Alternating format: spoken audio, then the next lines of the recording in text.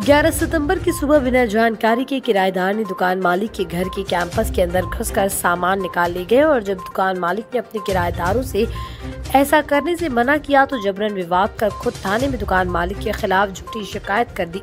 उक्त मामला magneto mall के सामने का है। मैग्नेटो मॉल के सामने जहाँ अश्विनी कुमार यादव की कमर्शियल प्रॉपर्टी है, जिसमें का एक दुकान ठाकुर पान सेंटर के नाम से नरेंद्र सिंह नामक व्यक्ति किराए पर लिया है। उसका छोटा बेटा भैरव सिंह, जो कि आज सुबह अश्विनी यादव के मकान के कैंपस से बिना पूछे घुसकर कैंपस में रखे लोहे की फेम व सीट को ले गया। जब उसने बिना पूछे सामान को इस तरह ले जाने से मना किया तो भैरव ठाकुर ने अश्विनी यादव से जबरन गाली गलौज कर धक्का मुक्की करने लगा।